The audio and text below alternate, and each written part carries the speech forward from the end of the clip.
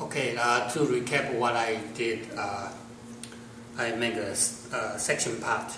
Uh, I throw a little bit thicker on the, the trick of uh, adding the second piece is that your measurement has to be very precise.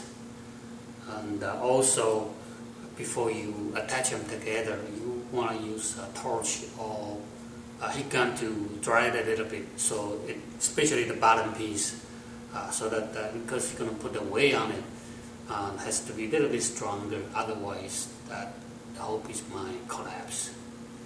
Um, this is a, a very uh, e- uh, efficient way to throw something large. Uh, if you don't want to like throw 25 pounds of uh, clay all at once, you can do it separately and you can edit uh, as tall as you want, uh, as long as you, your kiln can accommodate. Uh, just like you making um, uh, a large coil and you coil build the whole piece, and you can throw uh, very large and very tall pieces. So this is the section pot. Thanks for watching.